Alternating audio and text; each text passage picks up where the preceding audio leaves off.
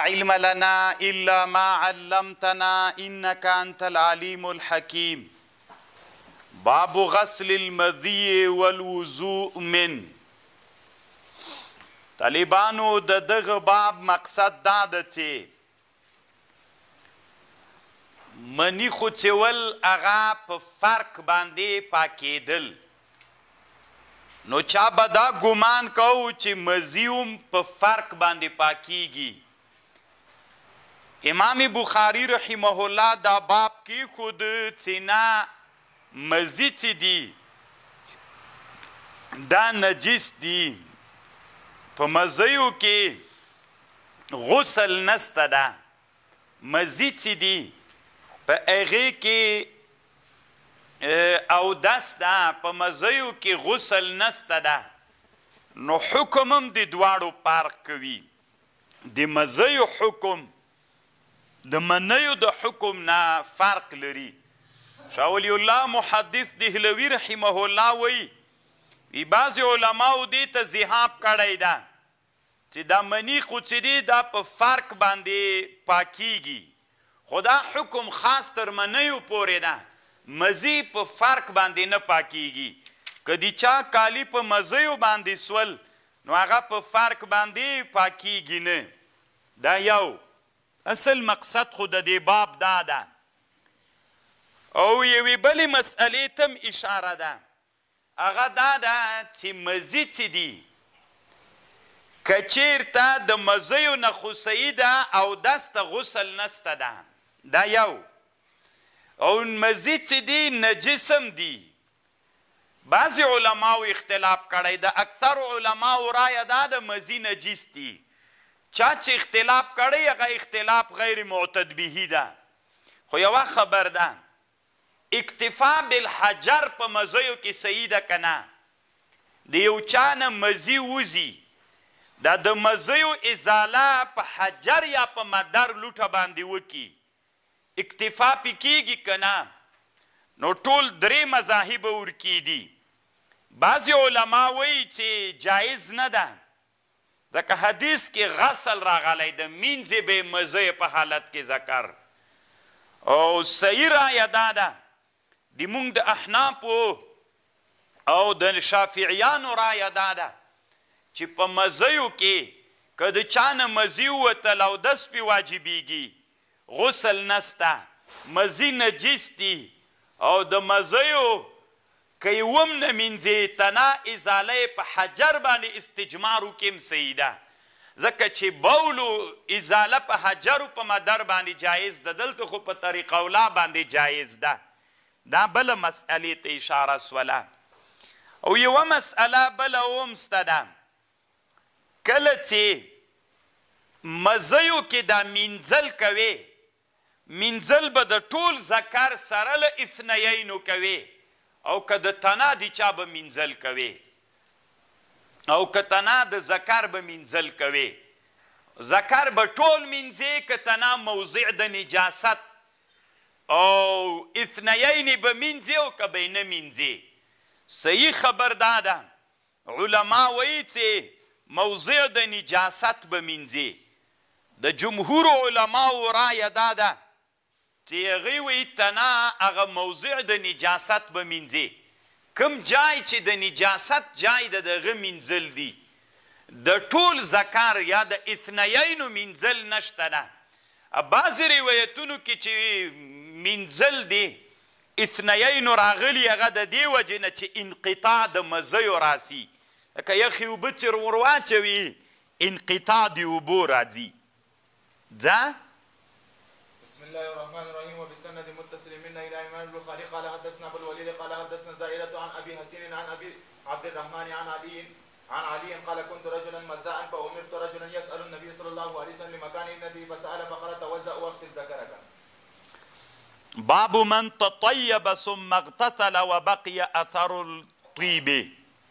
طالبانو یو مقصد د دې باب علامه زکریا صیب ذکر کړی علامه زکریا صیب وایی د دې باب مقصد داسې ده له جمعه نه مخکې سړی خوشبویی او عطر ووهي پس له دې خوشبویی او عطرو وهلو نه جماع وکړي نو چا به ویلې دا اسراف ده ځکه پس ته چې غسل کوي دا خوشبويي خو بيخي ختمه سوله خو هلته عادت دا وو چې په بدن هم خوشبويي دوی وهله نو چې په بدن خوشبويي وهي د جماع نه وروسته خو غسل کوي دا خوشبويي ځي نو اسراف ته څه ضرورت ته ورته وروسته به دې وهلې وه نو امام بخاري دا باب کيښودو باب من تطيب څوک تطیب وکړي پس له هغه نه بیا غسل وکړي نو مقصد یې دا د امام بخاري اسراف نه ده مخکې له جماع نه عطر وهل دا طالبانو سړي کې قوت پیدا کوي نشأت پیدا کوي علما کتابونو کې لیکي طالبانو چې بعضې شیان مقوي للجماع دي یو له هغو شیانو نه چې قوت سړي ته په جماع کې ورکوي هغه څوک ده؟ هغه عطر دي، دا عطر هم سړي ته په په جماع کي قوت نصيب کوي، قوت ورکوي، نو مخکي له جماع نه که عطر ووهي د دغي فائدې د پاره چي سړي کي نشأت و قوت پيدا سي نو اسراف نه سو د دغه هدف د پاره بالکل جائز ده که بيا وروسته غسل هم وکړي دا د علامه زکريا رحمه الله رايه سوله. د علامه شاه ولي الله رحمه الله مقصد هغه وي وي له دې مقصد نه د دې باب نه مقصد دا د طالبانو ورونو دا هم ډېره ښه خبره کوي یو وارې د عطر ووهل په بدن باندې له غسل نه وروسته د دغه خوشبويي اثر دې تا په بدن کې پاتې سو څه معنا غسل دې کړی دلک دې نه ده کړی لکه چې دلک ونه کړي هغه اثر د خوشبويي څنګه کېږي پاتې کیږي دغه غسل سوی که نه ده سوی نو امام بخاري باب کیښود چې دا غسل سوی ده یعنی عطر ووهې پس له هغه نه غسل وکړې دې غسل کې دالکو نه کې ځکه دالکو نه کې له دې ځای نه معلومیږي چې غسل نه وروسته د خوشبویي آثار چې پاتې کیږي هلته پاتې کیږي چې دالکو نه کې نو خو دې نه معلومه سوله چي دلک ضرور نه ده نو ددې سړي غسل سوی که يې نه ده سوی غسل صحيح خبر دا ده طالبانو چي غسل سوی ده ځه. وبه قال حدثنا ابو النعمان قال حدثنا ابو عوانة عن ابراهيم بن محمد المتشر عن ابيه قال سألت عائشة وذكرت لها قول ابن قبل قول ابن عمر ما احب ان اثبت قولا عائشې رضي الله عنها ته چا وويلي چي عبدالله بن عمر دسي وايي ما احب ان اصبح محرما زه نه خوښوم چې په سبا کې راجیګ سم او احرام مې تړلی انضح طیبا د خوشبویی شیندم بوی د خوشبویی فقالت عایشې ورته ویلې، انا طیبت رسول الله صلی الله علیه وسلم ثم طاف فی نسائه بیا نبی علیه السلام طواف وکړ په نساوو کې ثم اصبح محرما بیا په احرام کې راپورته شو سبا کې ګوره بیګا یې عطر وهلی وو سهار محرم وو. اد عطر وغم ورباندې و ځه. وبه قال حدثنا آدم بن ابي اياس قال حدثنا شعبة قال حدثنا الحكم عن ابراهيم عن الاسود عن عائشة قالت كأني انظر الى وبيس الطيب في مطبخ النبي صلى الله كأني انظر ګویا کې ما څه د کتل الى وبيس الطيب ځلیدلو د خوشبویی ته فی مفرق النبی صلی الله علیه وسلم وهو محرم مفرق طلبانو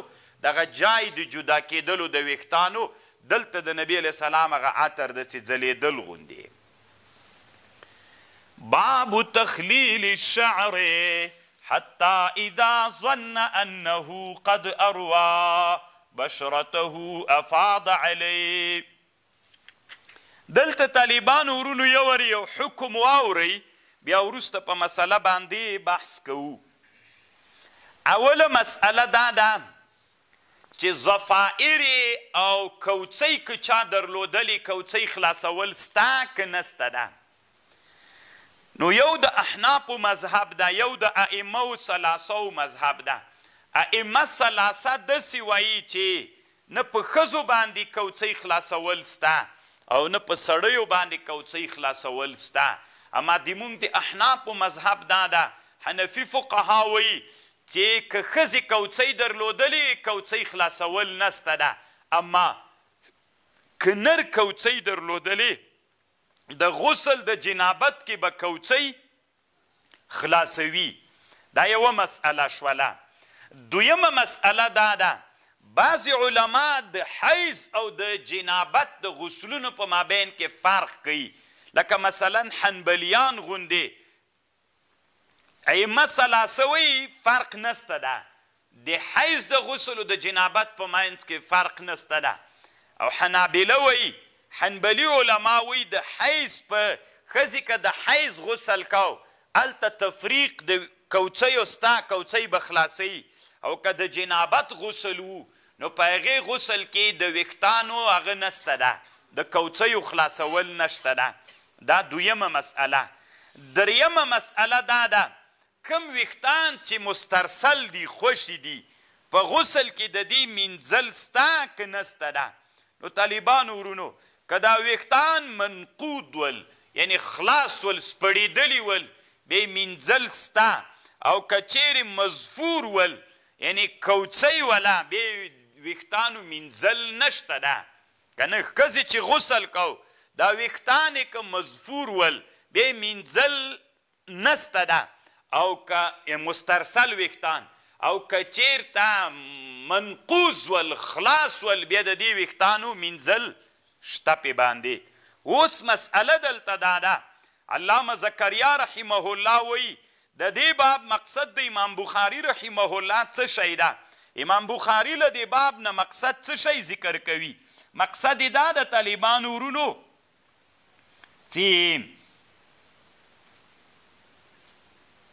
دا نقض د ضفائرو چې ده د کوڅیو خلاصول واجب نه دي،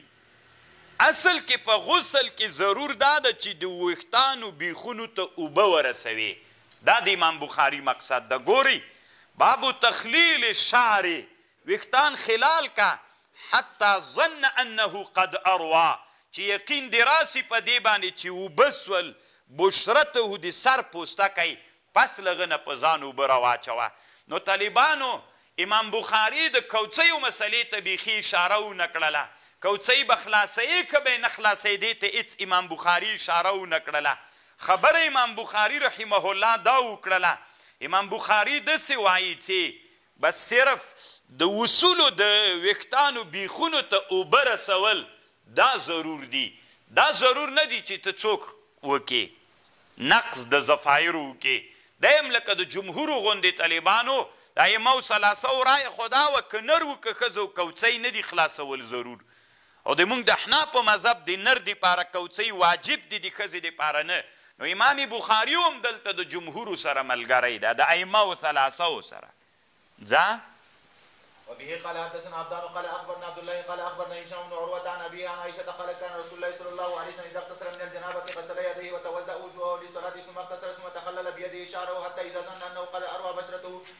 افاض عليه الماء ثلاث مرات ثم غسل سائر جسده قال كنت اغتسل انا ورسول الله صلی الله علیه وسلم من اناء واحد نغرف منه جميعا طالبانو باب من توزع في الجنابه ثم غسل سائر جسده ولم يعد غسل مواضع الوضوء مره اخرى د دې باب مقصد علامه شاه ولی الله محدث دهلوی رحمه الله وی وی د دې باب مقصد د سیدا چا چې په اول د اوداسه کې اعضاء ومینځل بیا یې غسل وکړ د دغه اعضاو مینځل د غسل نه وروسته بیا پرې باندې نشته ده دا یې مقصد ده په خبر پوه شوله یا یعنې یو وارې چا اودس وکړ بیا د غسل اعاده وکړله پس له هغه نه بیا اعضاء د غسل مینځل ورباندې نشته ده اودس سوی ده دا د ده په رایه باندې ده شاه ولي الله صاحب په رایه خو علامه زکریا رحمه الله هم ډېر عجیب او خوندور مقصد وایي او وایي وایي د دې باب مقصد داسې ده دلته خو طالبانو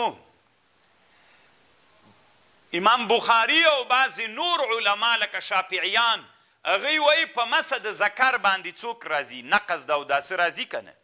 چې ذکر دې مسح که اودس څوک سو نقض سو مات سو نو اوس سړی طالبانو چې غسل کوي کنه چې په ځان دې اوبه راواچولې یو وارې دې مخکې اودس وکړه چې مخکې دې اودس وکړه له اوداسه نه دې وروسته غسل وکړه چې ځان نه دې داسې اوبه وچولې یا دې ځان موښوده نو خو عورت خو هم سړی موښي کنه نو چې موښوده دې نو اودس ګویا کې څوک سو مات سو نو چې اودس مات سو هغه اودس چې له غسل نه مخکې کړی دهغه اوداسه بیرته اعاده شته که نشته څه طالبانو خوندور مقصد امام زکریا صاحب ویلی تاسو فکر ته پام شته طالبانو دی وایی اصل کې د امام بخاری مقصد دا ده باب من توضع من الجنابه ثم غسل سائر جسده ولم يعد غسل مواضع الوضوع مره اخرى بل قرات بیا نشته د طالبانو ورونو یو وری دی اودس وک نو په مسح د ذکر باندې خو اودس ماتیږي امام بخاری وایی چې دا غسل کې کوم دل کوي او تا مس د ذکر وکړله څوک نه ماتیږي اودس نه ماتیږي ورباندې نو امام بخاري رحمه الله دا باب د دغه مقصد لپاره کیښودلی او سخت خوند یې کړی طالبانو دا یې رښتیاننه مقصد ده ځکه اصلي اشاره طالبانو دغه ټکي ته ده چې علامه زکریا رحمه الله ویلی ما مخکې هم تاسې ته طالبانو ورونو ویلي ول علامه زکریا کان دهلوي رحمه الله داسې به ووایم طالبانو ان شاء الله دا به یو حقیقت وي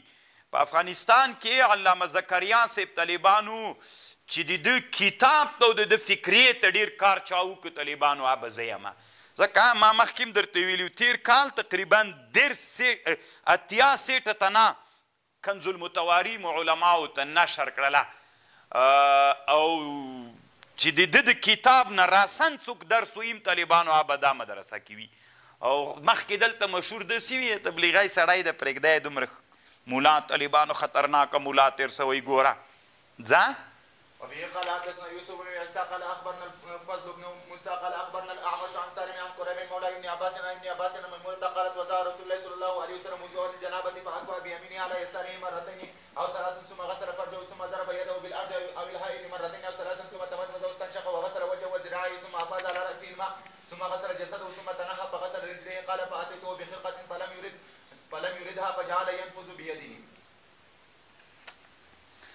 طالبانو باب اذا ذکر فی المسجد انه جنب یخرج کما هو ولا یتیمم طالبانو یو واری خبر واورئ یو سړی چې جومات کې وي کنه یو سړی په جومات جومات نه باندې وي او جومات ته عاجل ضرورت پیدا سو ته جنوب سوی یې اوس ته باید چیرته ننوځې؟ جومات ته، نو خامخا چې جومات ته ننوځې تیمم درباندې څوک ده واجب؟ تیمم څوک ده درباندې؟ درباندې واجب ده. مثلا ښه مثال به ووایم، تیر شل کلن جهاد کې د جهاد مرکزونه جوماتونه ول کنه؟ نو اوړی ده، په اوړي کې مجاهدین باندې ویده دي، يو تحتلام پيښ سوی ده هلته يو دا ناڅا په چاپه راغله له جومات کي وسله ايښې ده نو ده يي ورمنډه کړله جومات ته ورننوتلو دي پاره دلته طالبانو خامخا تيمم واجب و ضرور ده دخول ده جومات دي پاره تر څو څوک جايز نه ده ننوتل ناروا دي تر څو چي تيمم ونه وهي يو او که چيرته جومات کي ته پروت ولي احتلام درته پيښ سو نو که علی الفور له جوماته راوتلې بیا هم تیمم په جومات کې مستحب ده تیمم به په جومات کې وهې بیا به راوځې یو او دویم دا ده طالبانو ورونو که تیمم او که داسې وو چې یخ وو تا ویلې بیا به سهار ته غسل وکړم جومات کې دې د مکث اراده وله جومات کې دې د پاتې کیدلو اراده وله نو بیا به طالبانو ورونو داسې کوئ چې هلته به په جومات کې چې پاتې کېږې بیا په تا تیمم واجب ده ګوره په راوتلو کې یا مندوب ده یا مستح واجب ده مندوب په هغه حالت کې ده چې دي تا څوک وي زر راوتل مقصد وي که درنګ وخت تېروې بیا به په جومات کې څوک کوې تیمم بیا واجب ده در باندې تیمم به وهې دا یو دا خو حکم سو. اوس راځئ دې ته چي د دې باب مقصد څه شی ده؟ د دې باب مقصد د امام بخاري رحمه الله دا ده، امام بخاري وايي، ګوري طالبانو چي راوتلي دستي دي موږ د احناف په مذهب تيمم څو مستحب او مندوب چي درنګ کوي جومات کي راوتل وروسته کوي واجب اوس امام بخاری رحمه الله دا باب کیښود دې باب کې مقصد دا ده ګوره نبی علیه السلام جومات ته راغی په امامت ودرید اقامت هم ځتي ویل کې سوی و تقریبا ښه وعد فخرج فلما قام في مذكر او څنګه په هغه کې ودرېدل په یاد شو زه خو جنوب يم رسول الله بیرته ډاریک ووتل جمعات نه نو دې نه معلومه سوله چي رسول صلی الله علیه وسلم چي جومات نه ووت نو تیمم یې ونه وه ووت نو دې نه معلومیږي چي دا تیمم د وتلو د پاره واجب نه ده د امام بخاري دا مقصد ده یعنی تیمم د وتلو د پاره رشید احمد ګنګوهي رحمه الله وایي څوک نه ده واجب نه ده طالبانو څوک ده. مندوب مستحب ده دا د امام بخاری په دی باب کی مقصد ده کله رسول الله غسل وکړ خو دی نه معلومه ده طالبانو چه واجب نه ده او یا رشید احمد ګنګوهی رحمه الله وایی وی په دی باب کی مقصد هغه که څوک وایی په دی باب کی مقصد په رد په احنافو ده احناف دسی وایی چی تیمم چی جومات نه وځی نو تیمم به څوک کوی که علی الفور وځی مندوب ده که علی التاخیر وځی تیمم واجب ده نو دغه باب کی رد ده په احنافو باندی رسول الله ووت علی الفور کنه کله ندبه نه هم تیمم ونه که نو چی ویی نه که دی نه معلومه سوله چی دا تیمم مندوب مستحب نه ده خو رشید احمد ګنګوهی صاحب وایی که څوک وایی چی دی باب کی رد په احناف وسو کله رسول الله غو هغه وکړو تیمم مونږ جواب کوو چی دا به تاسی ته هلته صحیح وو چی تاسی دلیل بل شی راوړای وای رسول صلی الله علیه وسلم او علی رضی الله عنه ته چی جنوب هم ول اجازه وه چی جومات کی تګ او راتګ وکی دا د رسول الله خصوصیت وو او د علی رضی الله عنه د نبی علیه السلام څی و نه ووت بدون د تیمم نه دا طالبانو ته دلیل مه راوړه چی رد په احنافو باندی احناف خو یی مندوب بلی ولی احنافو نه کو دا د رسول الله خصوصیت ده.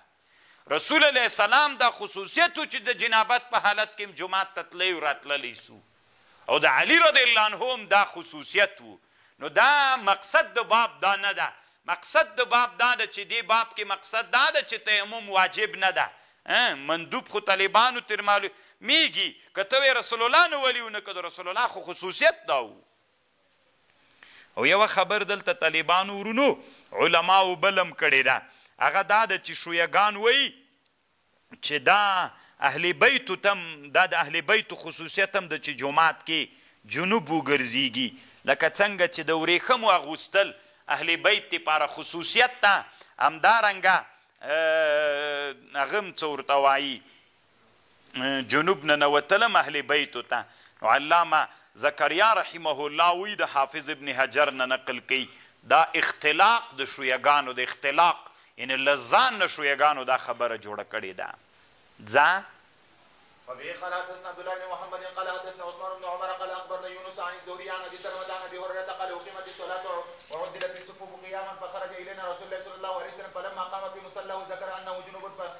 فقال لنا مكانكم ثم رجع فاغتسل ثم ثم خرج الينا وراسه يقطر فكبر فصلينا معه وتابعه عبد الاعلي عبد الاعلي عن معمر عن الزهري ورواه الاوزاعي عن الزهري طالبان ورونو دا مسجد نبوي د سي جوړ و چې دروازې مسجد نبوي ته د صحابه ور خلاصې وي د سي جوړو بیا نبی صلی الله علیه وسلم امر وک دلته طالبانو یو حدیث کې د سي راضي چې تاسو ټولي دروازې بندې کړئ یو د علي صیب مه بندوئ او یو حق کې داسې راځي چې ټولي دروازې بندې کړئ یو د ابوبکر صیب مه بندوئ ابن جوزي راجیګ سوی طالبانو چې د دې حدیثو په مابین کې جمع نه سي کولای ستي بیا ویلي وي دا حدیثونه دروغ دي علام ابن حجر طالبانو رد پې باندې کړی یو کتاب یې جوړ کړی قول المسدد فی الذب عن مسند لامام احمد بن حنبل، امام سیوطي په دغه مسئله مستقل کتاب جوړ کړی ده، وړه رساله ده، شد الابواب شد الاصواب فی سد الابواب، دغه عنوان کې داسې لیکلي طالبانو اول رسول علیه السلام امر داسې کړی ده دا تطبیق د دې دواړو ممکن ده، اصل کې داسې چل و، مسجد نبوي ته دروازې هم راخلاصې وې، رسول الله ویلي ټولو دروازې دې بندې شي او د علي صاحب دې نه بندېږي، بیا طالبانو کړکۍ راخلاصې وې، خوښې، بیا نبي علیه السلام ویلي ټولې کړکۍ دې هم بندې شي الا خوښة ابي بکر، استثناء چې د علي صاحب شوې د باب شوې ده، استثنا د کړکۍ چې سوې ده هغه د د ابوبکر صاحب سوې اوس هم طالبانو مسجد نبوي ته چې ننوځي دلته یوه وړه کړکۍ ده اوس هم پې لیکلي دي خوخة ابي بکر کړکۍ د ابوبکر صدیق رضی الله عنه نو هغه جمع طالبانو په دغه ترتیب باندې شوې ده باب نفض الیدین من الغسل عن الجنابت طالبانو د دې باب مقصد چي ده؟ علامه زکریا رحمه الله وایي، وایي د دې باب دوه مقصدونه کېدلای سي، یو مقصد خو یې دا د طالبانو امام بخاري داسي وایي، باب نفض الیدین من الغسل، ګوره د جنابت غسل دي وکړ که نه غسل خلاص سو، دا اوبه دي داسي چاته وروشیندلې، نو خو دا کمي اوبه دي، مستعملې اوبه دي، مستعملې اوبه طاهرې دي که نجسې؟ طاهرې دي، ددې باب مقصد دا د طالبانو باب نفض الیدین من الغسل عن الجنابه دا مطلب چې دغه اوبه مستعملې اوبه دي او دا طاهرې دي دا یې مقصد ده یو علامه زکریا صیب وایي وي ددې مقصد دا ده او دویم مقصد دا د طالبانو امام بخاری رحمه الله وی یو حدیث کې راځي نبی صلی الله علیه وسلم وی لا تنفذ ایدیکم فی الوضو فانها مراوح الشیطان تاسو لاسونه مڅنډي په اوداسه کې ځکه دا د شیطان پکای ده پکای خو پیژنئ کنه مراوح ا پخوا به څه د سرې سه به دې کاو باد به سړي ته کاو نو دا لاسونه مه څنډی دا مراوح د شیطان دي یعنی دا د شیطان پکای ده مه یې څنډی لاسونه نو دا حدیث کتابونو ذکر کړی ده، امام بخاری دا باب کیښود چی نفث د یدینو جائز ده هغه حدیث چی تاسی لاسونه مه څنډئ دا له مراویح د شیطان نه ده هغه ضعیف حدیث ده دغه حدیث ته امام بخاری رحمه الله حدیث دی نه جواز معلومیږی هغه حدیث ضعیف ده د امام بخاری یا مقصد له دی باب نه دا ده چی کوم حدیث کی منع د نفذ راغلی ده هغه حدیث باندی امام بخاری په دی باب کی رد کول غواړی چی هغه حدیث صحیح نه ده ضعیف او قابل د استدلال حدیث نه ده ځه وبه قال حدثنا عفان قال اخبرنا ابو حمزة قال سمعت الاعمش عن سالم بن ابي الجعد عن قريب عن ابن عباس قال قالت ميمونة وزعت للنبي صلى الله عليه وسلم غسلا فسترته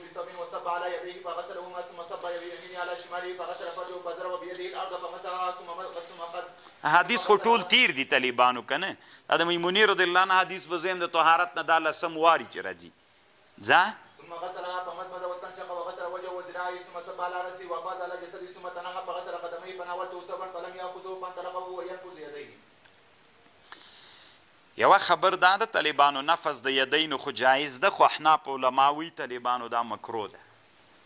بعضی خلکو کی عادت وی کم فکر وی چی ډوډی وخوری لاسونه داسی کی په زوره باندی کنه دا طالبانو احناف مکروه بلی یعنی تنزیهی مکروه یی بلی خلاف الاولی کار ده طالبانو دا کار مه کوی باب من بدأ بشق رأسه الایمن فی الغسل طالبانو ددې باب مقصد چه ده چه امام بخاری رحمه الله یې ذکر کوي نو ددې باب مقصد طالبانو د امام بخاری رحمه الله دا ده امام بخاری دا ذکر کول غواړي چه غسل درښیي غسل به څنګه کوې دوه خبرې امام بخاری ذکر کوي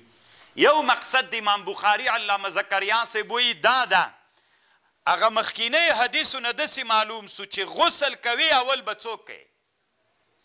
اودس کوی نو هغه اول اودس کول واجب نه ده یو مستحب کار ده ځکه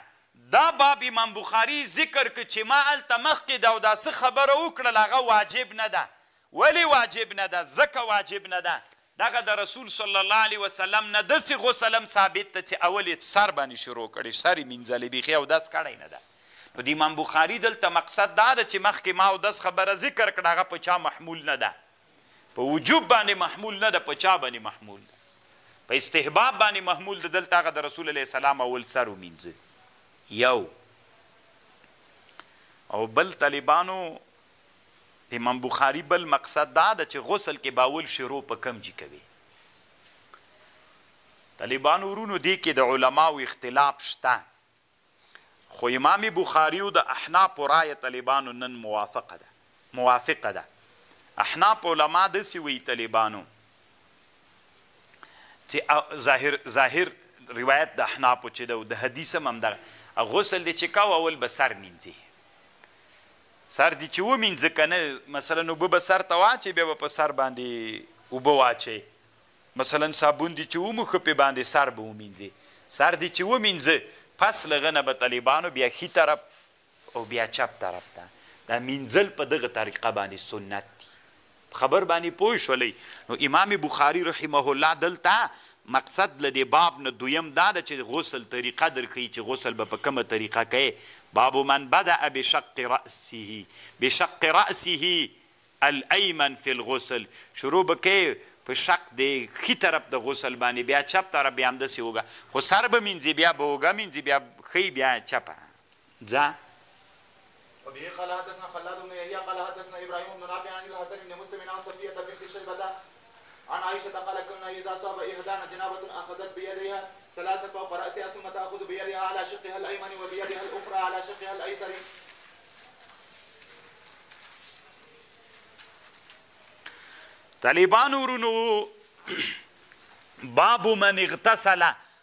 باب د په باره د هغه چا کې چې غسل وکړي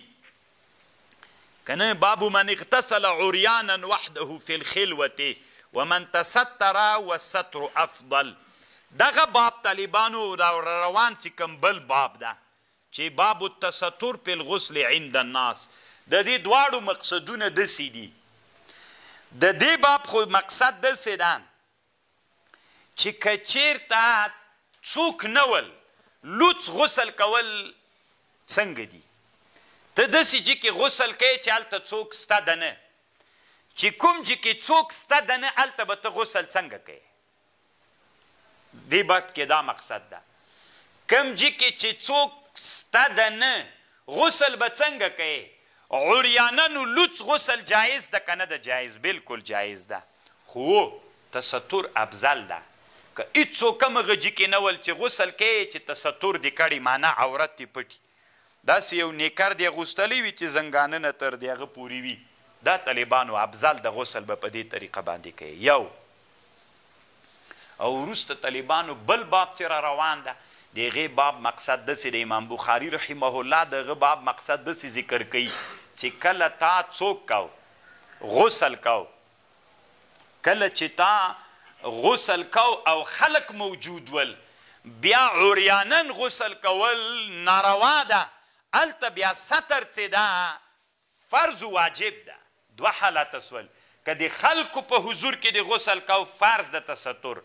او که چيرته خلک نه ول بيا عريانا غسل جائز د ستر افضل ده. تاسي په خبرو پوه شول يا؟ خو طالبانو ورونو علامه زکريا رحمه الله وي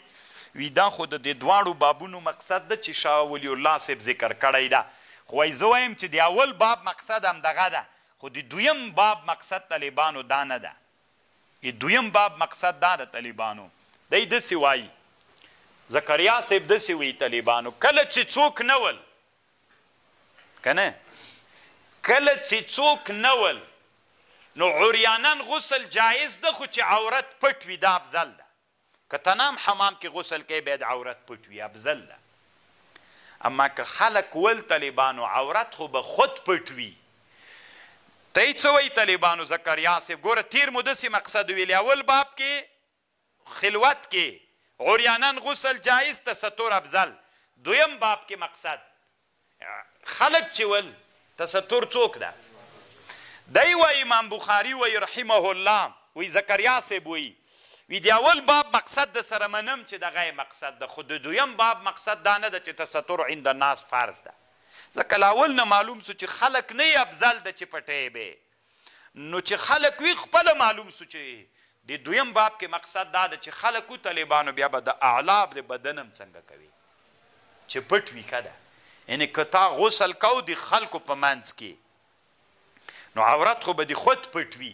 د عورت نه پورته بدن هم باید د تا پټ وي دا افضل د طالبانو خبر پوه شو ځه وقال بعض عن ابيه عن جده عن النبي صلى الله عليه وسلم الله احق ان يستحي منه من الناس. الله ډېر حقدار دی له دې نه چې حیا ترنه وسي. ځه. وبه قال وبه قال حدثنا اسحاق بن نصر قال حدثنا عبد الرزاق عن معمر عن حمام بن منبه عن طالبان حتی شافعیان وی شافعي علما وی چې امام کرمانی نقل کړی ده وای کچیر ته سړی په خلوت کې وی څوک ویني نه نو عريانن لوڅ که د عريانن غسل که د حاجت دي پاره وي جائز ده که د حاجت دي پاره نه وي طالبانو مکروه تحريمي او حرام ده شافعيانو يې عريانن به غسل نه کوي د خلوت په حالت کي هم څوک فرض ده ځا. ښه یوه خبر دلته دا ده طالبانو نبی صلی الله علیه وسلم به چې غسل کاو چې څوک به نه ول تستر یې کاو طالبانو که عریانن رسول علیه السلام غسل کاو نو د علامه رشید احمد ګنګوهی رحمه الله له خبرې نه وایي داسې معلومیږي علامه زکریا صاحب وایي چې نبی علیه السلام به تستر نه کاو او علامه ابن العابدین شامی وایی وایی چه ظاهر من حاله صلی الله علیه وسلم انه لا یغتسل بلا ساتر نبی علیه السلام به چه تنها هم غسل کاو طالبانو ساتر به وو د عورت ستر به یې کاو په خبر باندې پوه شولې ځه وکان موسی علیه السلام یغتسل وحده فقال والله یو ورځ موسی علیه السلام طالبانو غسل کاو نبی هره قال کان بنو اسرائیل چې ول غوی بلوت غسلونه کول ينظر بعضهم الى بعض تبي قتل وکانه موسی عليه السلام يغتسل تنابك او دوی بل موسی عليه السلام بل دوی سره غسل نکاو فقالو وی ویلی والله ما يمنع موسی موسی نه منع کوي اي يغتسل معنا الا انه آدر ولی مونږ سره یو ځای غسل نه کوي ادر دې ته وایي چې خصنتین یې پړسېدلي. فذهب مرة، یو ورځ لاړو یغتسل غسل یې کاو، فوضع ثوبه علی حجر، کېښودل کالي په حجر باندې، ففر الحجر، تیږه وتښتېدله، تیږې د ده کالي وتښتول، فخرج موسی فی اثره، موسی علیه السلام له اوبو راووت شاته یې منډې پسې وهلې، یقول ثوبی یا حجر، ايک تيږې دي ما کالي راکه حتی نظرت بنو اسرائيل موسی عليه السلام ته يې وکتل فقالو والله ما بموسی من بأس واخذ ثوبه فطفق بالحجر ضربا طالبانو تيږې په څاپيړو ووهله ځکه غوسه ناکه سړی وو فقال ابوهريره وي والله انه لندب بالحجر ست او سبع ضربا بالحجر تيږه کې طالبانو باندې څاپيړو شپږ يا اووه دانې يې نښې پاتې سوې. رشید احمد ګنګوهی رحمه الله وایي، تیږه چې په څاپېړو ووهې اثار په کې پاتې کېږي؟ نه، خو دا طالبانو له هغو ډبرو نه نه وه، ځکه دا داسې ډبره وه چې کالي تښتوي، که نه چې دې ډبرې کالي تښتول د حیواناتو اثار په کې پیدا سو، نو په د وهلو، لکه حیوان که چې په زور یې ووهې د وهلو اثار په کې پاتې کېږي که نه؟ دا جواب رشید احمد ګنګوهی رحمه الله کړی او یوه خبر دا د طالبانو علما وایی د غسل په حالت کې به خبرې نه کوې نو رسول صلی الله علیه وسلم ولې طالبانو د غسل په حالت کې خبرې کولې؟ نو یوه خبر دلته دا ده هغه د حدیث کې راځي عایشې رضی الله عنها بله ورځ هم حدیث تیر سو فیبادرنی حتی مسلم شریف کې هم راځي طالبانو عایشې او نبی علیه السلام به غسل کاو د غسل په حالت کې به یې ویلې د علی د علی هغه به ویلې ماته پرېږده دا ورې زه اوبه راخلم عایشې رضی الله عنها به ورته ویلې ماته پرېږده زه اوبه راخلم نو له دې نه معلومېږي که نه چې نبي علیه السلام دوی نه. نو دې لپاره طالبانو علماوو څو جوابونه کړي دي. یو جواب خو دا د طالبانو دا نه خبرې کول مستحب دي، د مستحبو خلاف کله د جواز لپاره جایز ده او یا دا د طالبانو عیني وي شامي دا جواب کړی چې خبرې د غسل په حالت کې هلته نه دي جایز چې عورت دې لوڅ وي او موږ خو مخکې ویلي چې رسول صلی الله علیه وسلم به غسل کاوه طالبانو ساتر به وو په خبر باندې پوه شئ رسول صلی الله علیه وسلم به ساتر وو ځه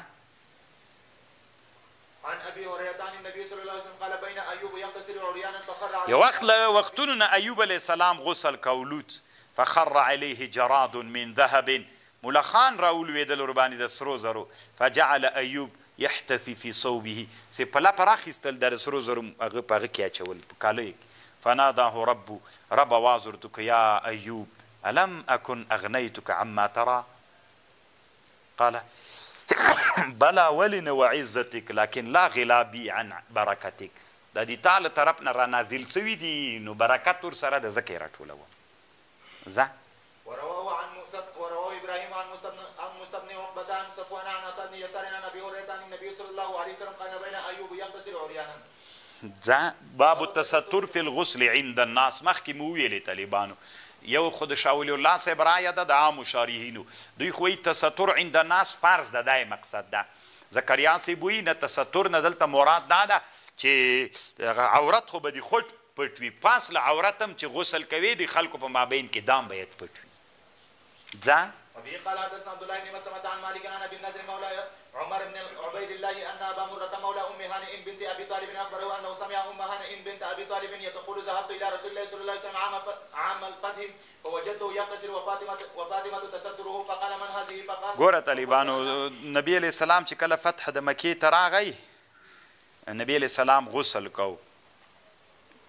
دا ام هانیه د نبی علیہ السلام د تر لور ولکه طالبانو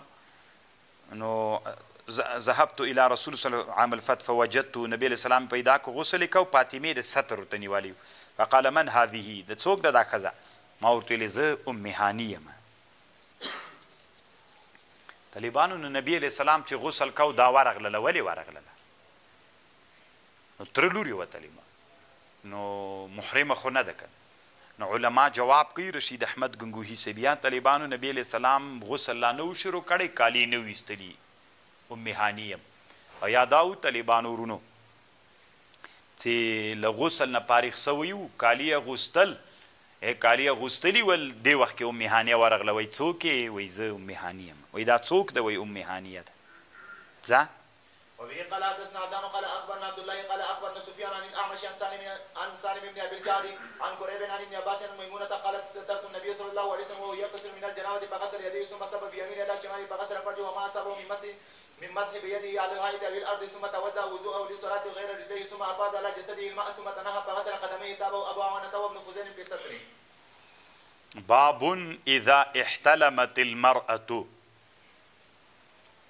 طالبانو د دې باب مقصد دا ده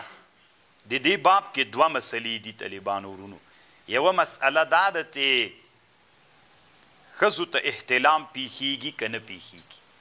اوله مسئله دا ده چې ښځو ته احتلام پیښیږي که نه پیښیږي نو تاسو ته طالبانو هغه د معلومه سول رسول صلی الله علیه وسلم ورته ویلي چې ښځو ته څوک پیښیږي احتلام پیښیږي نو عائشې رضی الله عنها ولې د احتلام رد کړ، انکار یې وکړ، نو طالبانو علماء وایي یا احتلام په ښځو کې نادر ده یا عائشې رضی الله عنها عمر ډېر کم و طالبانو نو بل داسې و چې زر واده سوې وه طالبانو نو ځکه احتلام نه ورته پېښېدی دا یو او دویمه خبر دا ده چې ښځه مني لري که یې نه لري. نو په دې کې د علماوو اختلاف ده، ما مخکې هم درته ویلي ول، ارسطو وایي ښځه مني نه لري او ابن سینا وایي وایي ښځه چې ده داسې رطوبت لري داخل د فرج کې لکه د منیو غوندې، خو علامه زکریا صاحب وایي وایي مختار د محققینو، فلاسفه او د اطباوو په رایه باندې دا ده چې ښځه مني لري او په دې باندې علامه عبدالحی لکنوی رحمه الله سعايې کې علامه انورشاه کشميري رحمه الله په فيض الباري کې بحث کړی دی نو د دې باب دغه دوه مقصدونه دي ځه وبه قال حدثنا عبد الله بن يوسف قال اخبرنا مالك عن هشام بن عروه عن ابيه عن زينب بنت ابي سلمه عن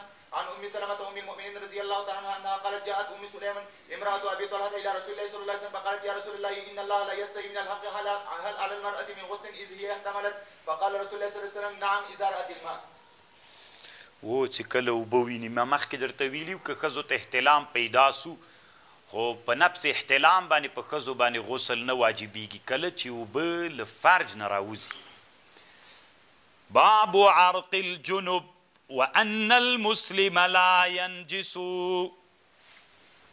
اوله خبر دا د طالبانو کافر پاک ده که مردار ده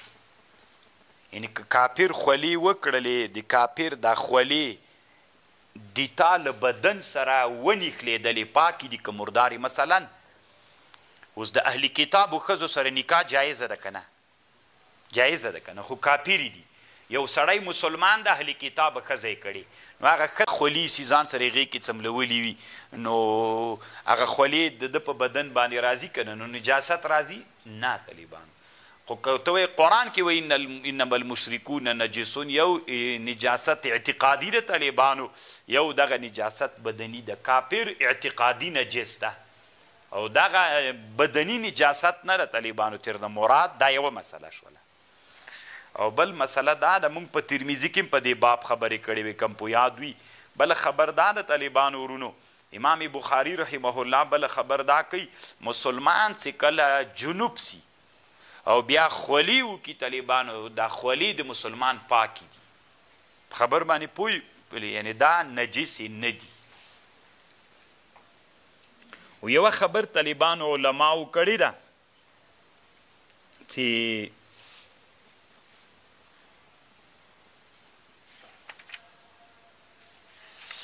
امام قرطبي و یو ډیر غربه کړی دا په دې مسلم په کتاب الجنایز کې بحث کړی دا ویلي کلی دی چې کافر سه د دان نجس دا او امام شافعي سه ته دا قول منسوب کړی او امام شافعي سه وی چې کافر سه دا دا نجس دا یعنی دا خولې هم نجسې دي نو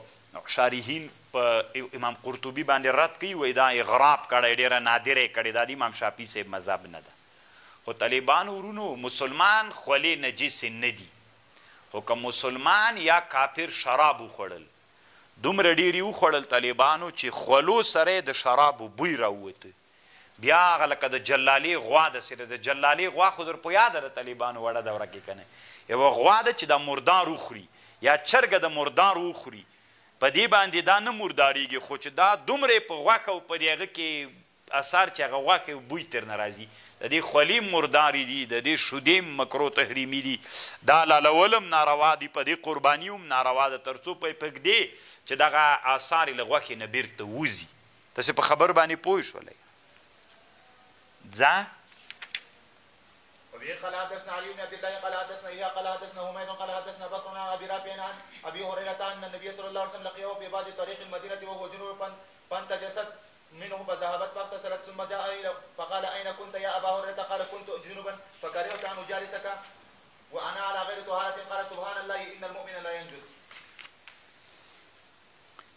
طالبانو باب الجنوب یخرج ویمشی فی السوق وغیره د دې باب مقصد د سره طالبانو یو سړی جنوب سو چی جنوب سو په ده باندی دا غسل علی الفور واجب نه ده یعنی ده ته جایز ده طالبانو چی تر څو پوری د مانځه وخت نه وی راغلی دی په خپلو امورو باندی مشغول سی جایز ده د جنابت په حالت کی. یعنی مطلب د دې باب رشید احمد ګنګوهی رحمه الله وایی دا ده چه یو سړی ته غسل واجب سو یو جنوب سو احتلام ورته پیښ سو یا یی معامله وکړله نو په ده باندی غسل علی الفور واجب نه ده ځکه ده ته جایز ده چه دی اشتغال وکړي ځان مشغول کړي په چا باندی؟ په خپلو امورو او خپلو کارونو باندې ځان مشغوله کولی شي. په خبرو باندې پوه شولی؟ ځه! ګوره جنوب احتجام او حجامت هم کولی شي، نوکان هم پرې کولی شي، سر هم خريالی شي، و ان لم يتوضأ، ګوره په نورو کارونو مشغول شو که نه، نو هغه د علی الفور غسل نه ده.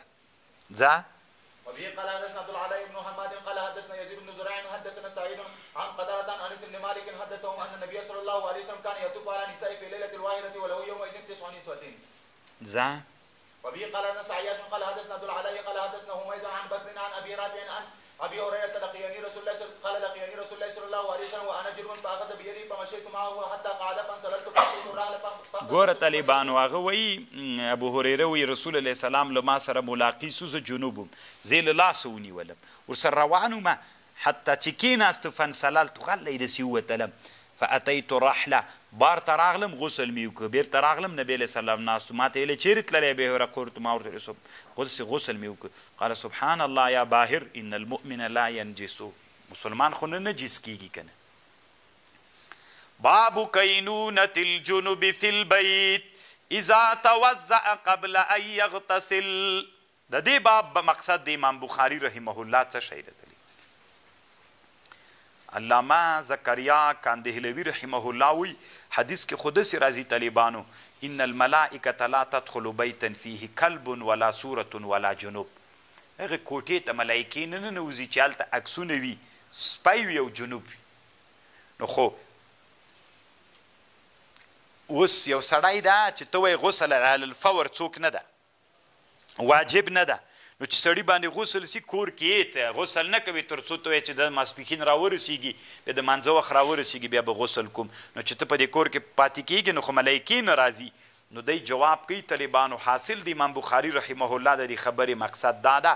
چې ګوره دا جبري دا ملکه چې نه راځي کور ته دا هلته نه راځي چې ته من کل وجهين په چا باندې پاتې سې. په جنابت باندې پاتې شي بيخي جنابت زايل نه شي نه ټول جنابت نه بعضې د جنابت که ټول جنابت غالب شو ملک راځي که بعضې د جنابت چې اودس وکړي بعضې د جنابت څوک شو پورته شو بيا هم څوک راځي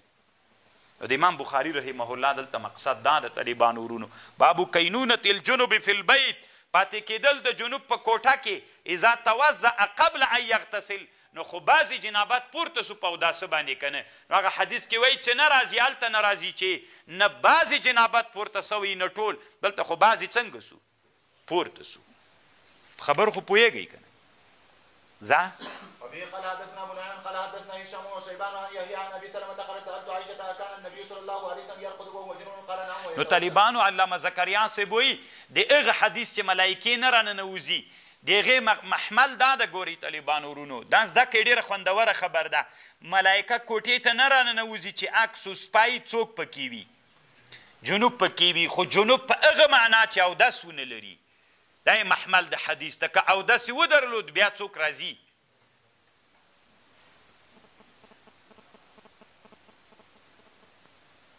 یا طالبانو محمل د حدیث داوم ده دای محمل د حدیث ده ملائکه نه رانه زکریا سی بوئی یا محمل دا ده دو محمل سول ګوره یا دا محمل ده ملائکه نه راځي کور ته چې جنوب پکې چې جنوب په هر معناوي یعنی معنا او دسمونه لري کو دسو لري بیا راځي که غسل یی ټول بالکلیا جنابت نه ختم بعضی ختم یی راځی یو محمل دویم محمل دا ده طالبانو هغه جنوب چی دی ده دا نه غسل کول عادت وی همدسی بیخی غسل کوی نه همدسی جنوب ګرځیږی دغه کور ته جنوب هغه نه راننوځی ملایکی او هغه سړی چی عادت یی نه یی طالبانو جنوب سوی وی د یو څه وخت لپاره څوک کوی تاخیر کوي تر څو چې د مانځه یا دغه د وجوب وخت په ده باندې راځي نو تر هغه وخته پورې دا بیا د محمل د حدیث نه ده طالبه یعنې ګوره بعضې داسې خلک کي فاسق و فاجر خلک کي ټول عمر جنوبان ګرځېږي دغه کور ته ملک نه راننوځي اما دغه کور ته چې خپلې ښځې سره جمعه وکړي څلور ساعته درې ساعته تر څو چې دا غسل خو علی الفور مندوب مستحب ده که نه علی الفور او واجب خو هغه کله چی د مانځه وخت په باندی راسی هغه وخت کی بیا څوک ده ځان باب نوم الجنوب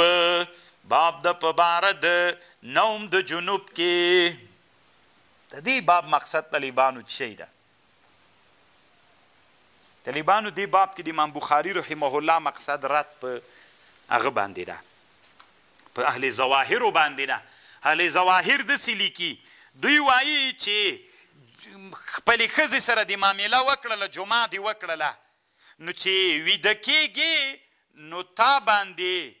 اودس چي ده دا واجب ده درباندي امام بخاري باب کيښودو باب نوم الجنوب جنوب ته هغه ده له جمعه نه وروسته ويده کيدل جائز دي که اودس هم نه کي نو که اودس واجب وي ولي ويده کيدل ورته جائز دي نو خو دينه معلومه سوله چي واجب نه دي طلبانو مستحب دي.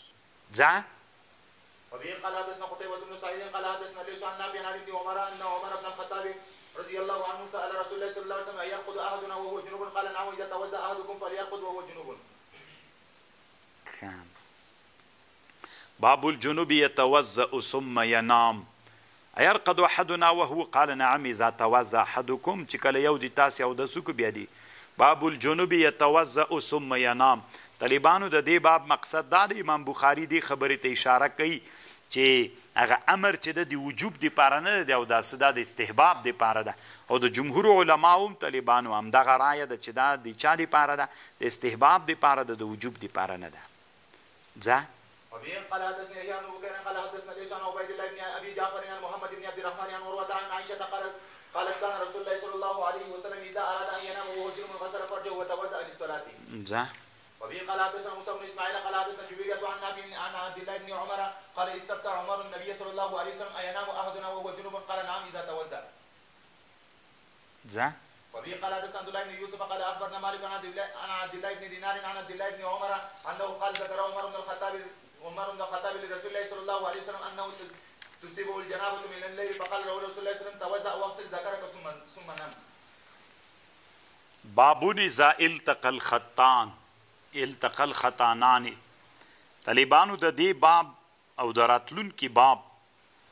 طالبانو یوری په خبر باندې ځان پوی کیا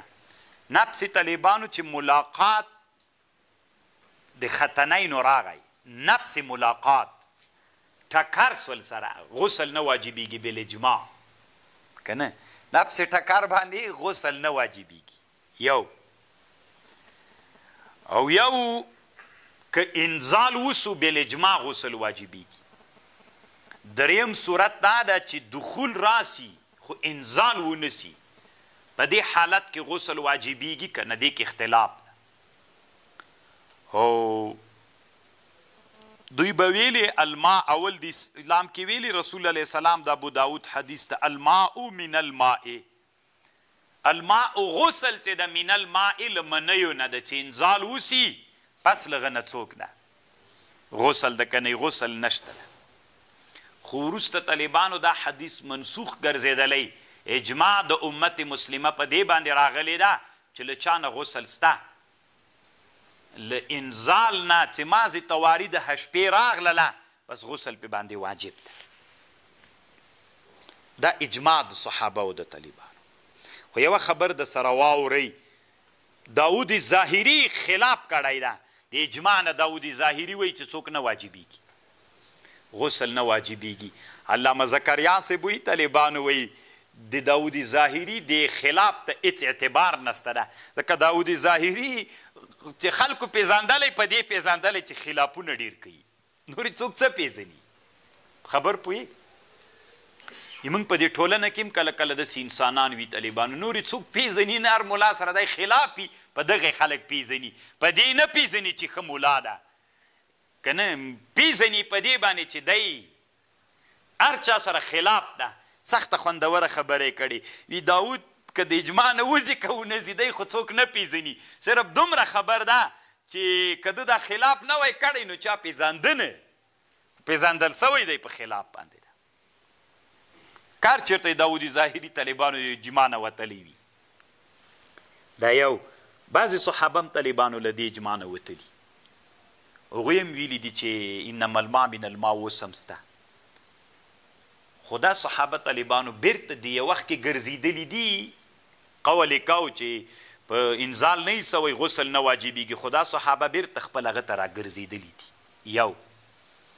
اصل کې طالبانو علامه بدرالدین العیني د امام ابو جعفر الطحاوي رحمه الله نه نقل کړی طالبانو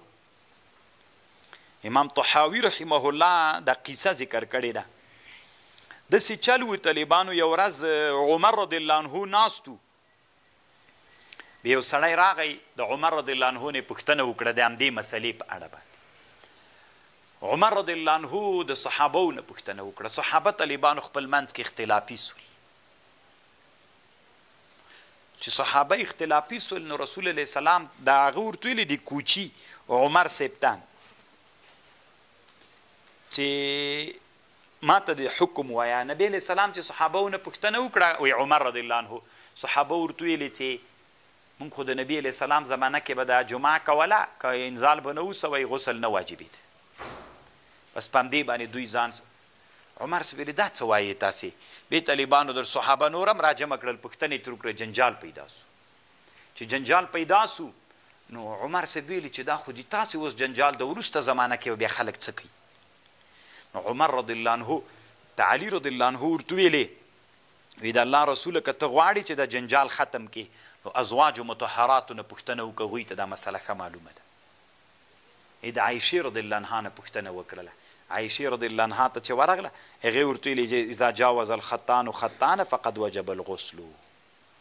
عمر رضی الله عنه ورته ویلې، بس دا خبره واورئ، د دې نه بعد دا اجماع د امت سوله، د دې نه بعد که چا بدون د هغه نه څه ورته وايي، که انزال نه وو سوی هم غسل یې نه وو کړی، نو هغه ته به زه تعزیر ورکوم، ویې ډارول طالبانو، له دې نه وروسته بیا دا اجماع جوړه سوله. په خبره باندې پوه شولئ؟ نو حکم دا ده چې نه پسې دخول راغی بس غسل واجبیږي. خو طالبانو د امام بخاري دا درک سم نه معلومیږي چې دی اوس کومې خوا کې ده؟ صحیح ده دی وایي که نه پسې اکسال راغی، دخول راغی، خو څوک نه واجبیږي. واجبیږي نه خو احوط دا ده چې غسل وشي. داسې معلومیږي طالبانو چې امام بخاري هم ځان رغړوي له دې اجماع نه. والله اعلم طالبانو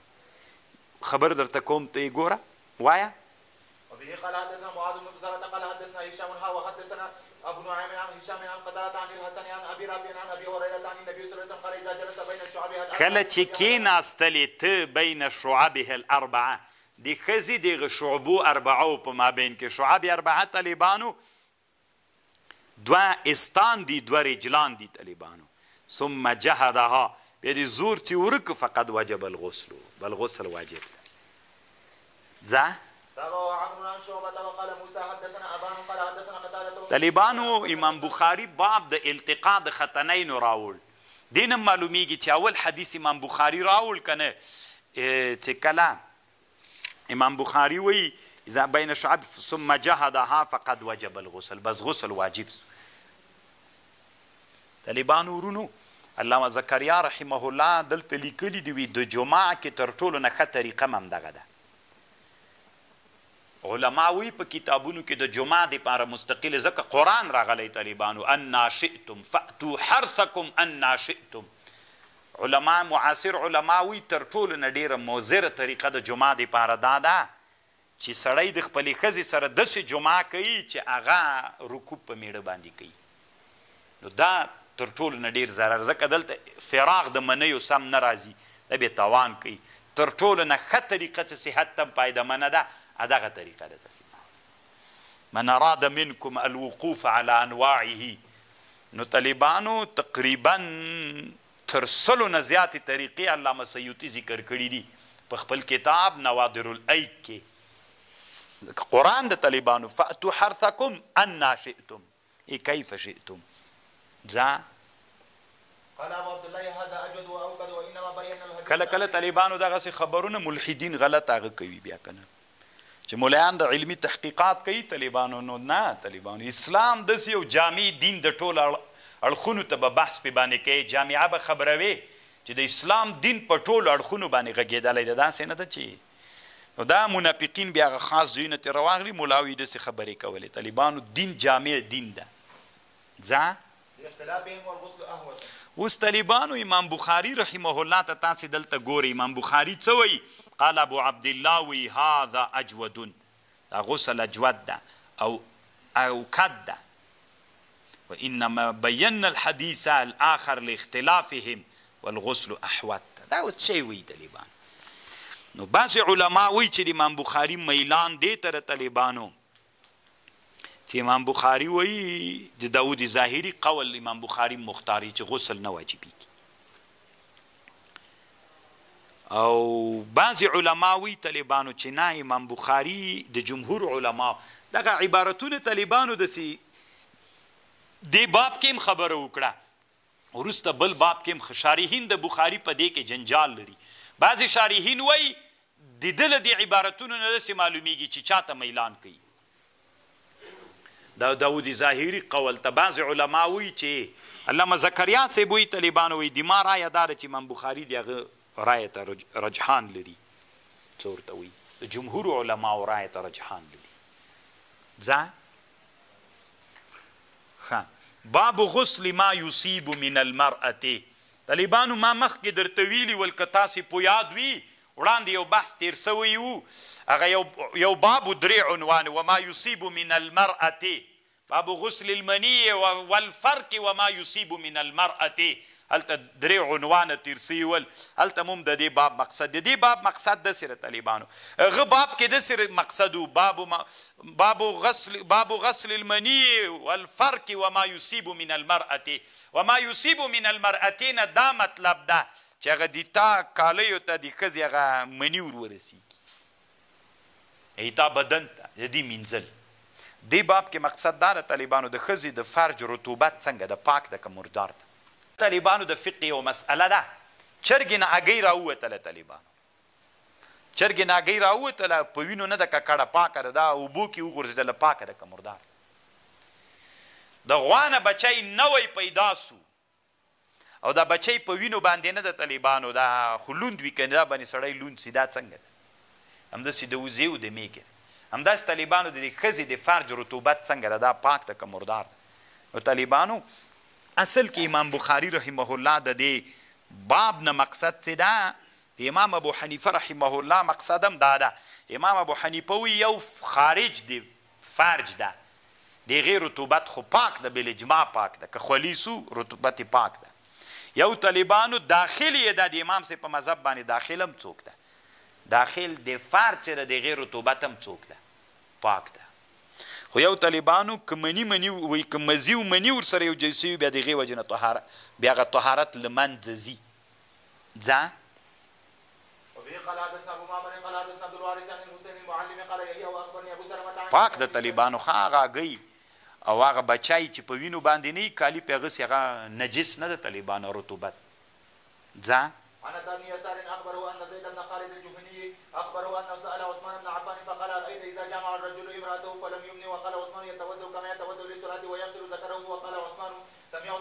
تاسو فکر ته پام ده طالبانو امام بخاری ډیر په مهارت باندې چې له اجماع نه هم ځان ونه باسي طالبانو داسې باب خو دې هغه کېښود دا کې دا خبرې چې شته کوي اوس دی طالبانو بیا حدیث راوړي ارایت اذا جامع الرجل امراته فلم یمنی منی قال عثمان ویل یتوضا کما یتوضا ویغسل ذکره بس پخوا خبره دې ذکر کړه بیا دې چشته راوړله قال عثمان وایي سمعت من رسول صلی الله علیه وسلم فسألت عن ذلک علی بن ابی طالب وزبیر بن عوام وطلحه بن عبید الله وابی بن کعب فامروا بذلک هغوی به ټولو داسې ویلې ځه واخبرني ابو سلمة ان عروة بن زبير اخبره ان ابا ايوب اخبره انه سمع ذلك من رسول الله صلى الله عليه وسلم. صحیح ده مونږ هم وایو چې رسول الله سلام نه اوریدلي دي خو دا په اول د اسلام کې د اجماع په دې راغلي دا حکم منسوخ دی